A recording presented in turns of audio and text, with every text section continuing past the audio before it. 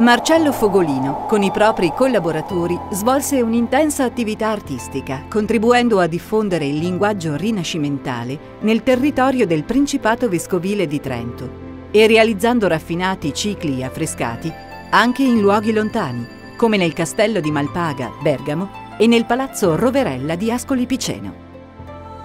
Eseguite per prestigiosi palazzi cittadini e castelli, le sue decorazioni con temi di carattere profano e fantastici fregi, non altrimenti presenti in mostra, sono illustrate in questo video, che costituisce anche l'invito ad una personale visita del territorio alla scoperta delle imprese del grande artista.